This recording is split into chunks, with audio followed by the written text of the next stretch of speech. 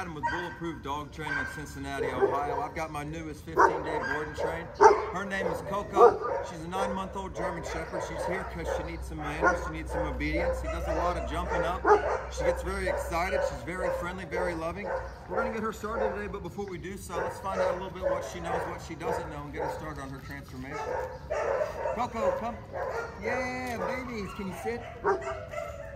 Good. Yes, that's a good sit. Good girl. What about a down? Can you down? Down? No? Just want to stand, that's it? It's okay. Can you heel?